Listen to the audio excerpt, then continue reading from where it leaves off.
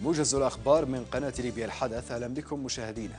شنت مقاتلات سلاح الجو بالقيادة العامة للقوات المسلحة عدة غارات استهدفت رتلا مسلحا للميليشيات جنوب غرب البلاد. وبحسب الإعلام الحربي فإن مقاتلات سلاح الجو استهدفت رتلا تابعا للميليشيات الإرهابية المدعومة من الغزاة الأتراك في الصحراء شرق الشويرة. وأوضح مصدر عسكري أن الرتل الذي تم استهدافه مكون من 32 آلية تم تدميرها بالكامل قرب شويرف كما استهدفت مقاتلات سلاح الجو بالقوات المسلحة مجموعات الحشد الميليشياوي المدعوم تركيا بثلاث ضربات جوية في كامبو الخمسين من بالقرب من كوبر ازداد شرق مدينة مصراتة أكد مصدر عسكري بدء ميليشيات حكومة صخيرات والمرتزقة السوريين المدعومين من تركيا في تلغيم منطقة اسداد شرق مدينة مصراتة بأنواع مختلفة من الألغام. وأوضح ذات المصدر أن عملية التلغيم تتم بإشراف ضباط الهندسة العسكرية الأتراك مضيفا أن عملية الزرع شملت أيضا محيط منطقة اسداد وصولا إلى المدخل الشرقي لمدينة مصراتة.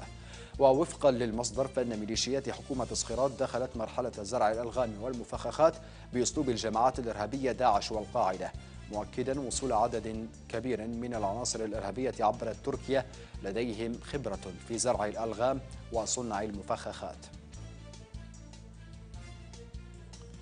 رصد موقع إتميل رادر وصول طائرة شحن تركية جديدة إلى مطار مصراتة أوضح الموقع المختص بتتبع الرحلات العسكرية فوق المتوسط أن طائرة لوكهيد التابعة لشركة الطيران التركية غادرت إسطنبول في مهمة جديدة إلى مصراتة أضاف الموقع الإيطالي أنه في الوقت نفسه غادرت طائرة بوينغ من مدينة قونية التركية في مهمة مراقبة قبالة غرب قبرص.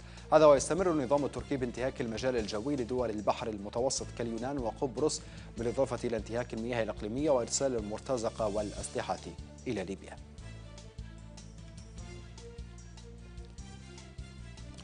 جدد النائب الثاني لرئيس مجلس النواب حميد حومة رفضه التام للغزو التركي ولجلب المرتزقة والأسلحة التركية للبلاد.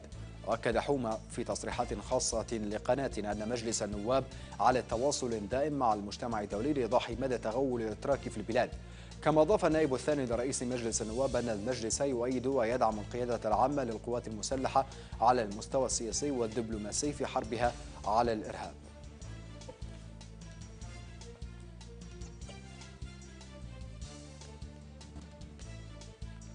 رحبت قبائل ومؤسسات المجتمع المدني بالجبل الأخضر المبادرة المصرية التي أعلن عنها الرئيس المصري عبد الفتاح السيسي لإنهاء الأزمة الليبية مجددين دعم القوات المسلحة بقيادة المشير خليفة حفتر.